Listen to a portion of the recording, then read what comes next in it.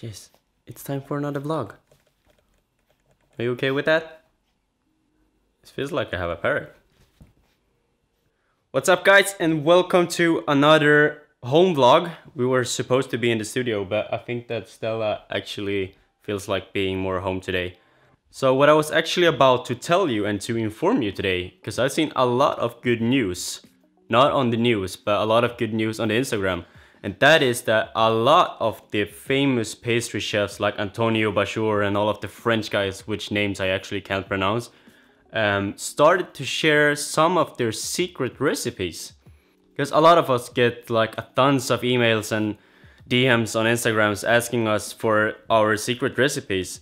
I am the one that share most of my recipes. As most of you know, I try to support and I think that sharing is caring and if we share with each other, we can build this business even stronger. And I think that if I come up with an idea, I don't see why someone else could do it better or develop it even longer than I stopped doing it.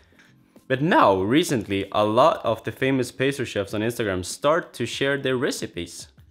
I think that is an extremely good way for you to find a light in the dark. Buckle up with as many recipes as you want to try as soon as you're back to work. But I have one kind of rule that I think that all of you should be aware of. Never write down a recipe in your own book if you haven't tried it. If you can't manage the recipe, there's no use to just have different numbers and different different descriptions. Because if you don't know how to handle the recipe, then there's no use for the recipe. So make sure you understand the recipe correctly before you manage to put it into your book or into your computer system. Always try it, always make sure that you get the exact right techniques done so you get the same result as me or as Antonio or as, as whoever. Stella? She actually knows her name now. So make sure to check out all of the big names and all of the guys that you want to have the recipes from because they starting to share it. And I think that's just wonderful. Isn't it? What else, Stella? What else do we have today? I think that we got a package. This one from Barebells, a company I used to work for that makes functional food. No sugar. You have to add sugar on your own.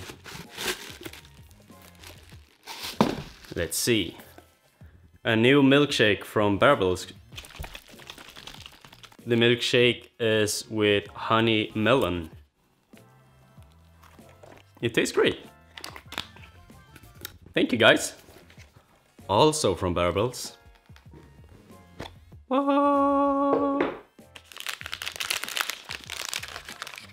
Protein bar with peanut butter. 12 grams of protein, no added sugar. Ah, look how cute it is. Taste peanuts. Taste chocolate. Who doesn't like peanuts and chocolate? Thank you guys. And thank you guys so much for watching. Make sure to subscribe to the channel. Please. And we will see you in the next episode of the vlog. Say goodbye, Stella. Bye bye.